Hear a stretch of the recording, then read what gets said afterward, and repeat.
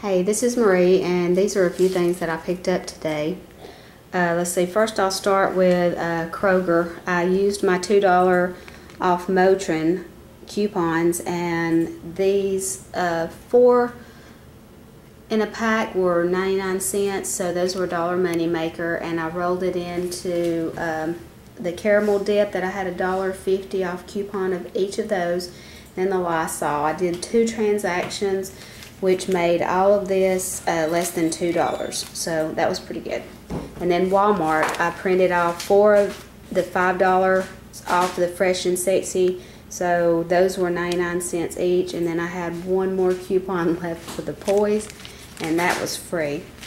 Okay, then I went to Target and I was a little bummed because the $2 coupons that I had for the L'Oreal had expired on the 23rd, but luckily on the 21st I got a rain check because my Target was always out of those. So I, here's what I ended up getting at Target.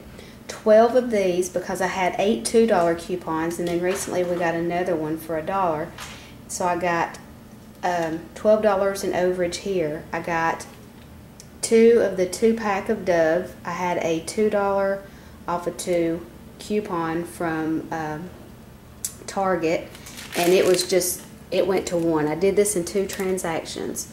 And then the uh, method, it was on clearance for 254 and I had a dollar off Target coupon and a dollar off method manufacturer's coupon and I thought I would try this bronzer by e.l.f. because it was a dollar. So all of that together I ended up paying $5.29 for. So I thought that was pretty good. Okay, and then CVS, I did three transactions with CVS. The first transaction was a clear. That was free because I printed off uh, from the box $4.99 off of any clear and they were $4.99 on sale. So I got one clear. Um, the U Kotex, I had a I had a $2 off of two manufacturer coupon.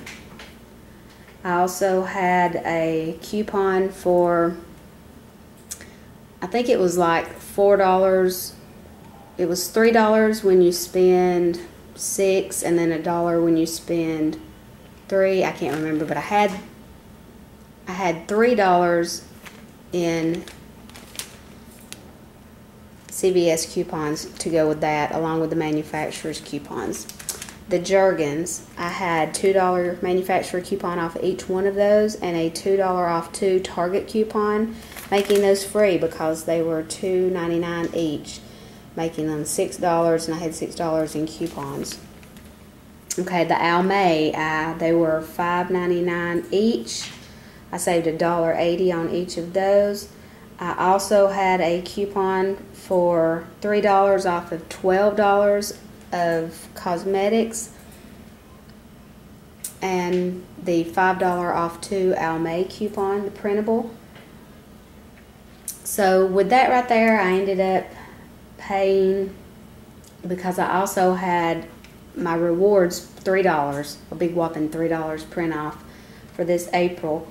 With all my coupons and my rewards and everything, I ended up paying for one clear, two Kotex, two Jergens, and two Almay. I ended up paying $11 and eight, I'm sorry, $8.11. So I thought that was pretty good. My second transaction was another free clear and two of the Kotex and I ended up, uh, that card ended up printing out a $5 extra care buck. So I used that and then I used the coupon for the free clear and I used a manufacturer coupon for $2 off of two and I ended up paying $4.75. So roughly, and then I had another card that got a free clear. So all of that right there was roughly $13 that I paid eight. Yep, $13 that I paid for that at CVS. So I thought that was pretty good. And that was my haul for today. And let's see before I go if I can figure out how much I spent for all of that. So that's 13, 14, 15, 16. I spent $20 for all, for all of that. So I think that's pretty good. I had other groceries that I bought too, but nothing really exciting. But that's the deal that I got. All of that for $20. All right, talk to you soon. Oh, also, don't forget that I got the $3 off of the Almay. All right, see you later.